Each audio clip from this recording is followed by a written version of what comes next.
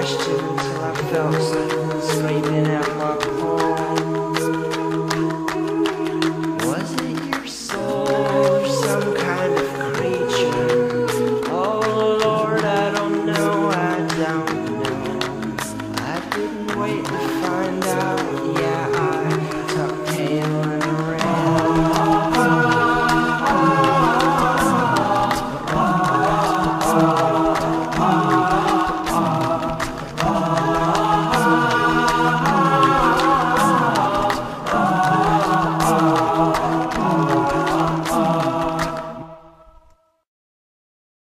Begin.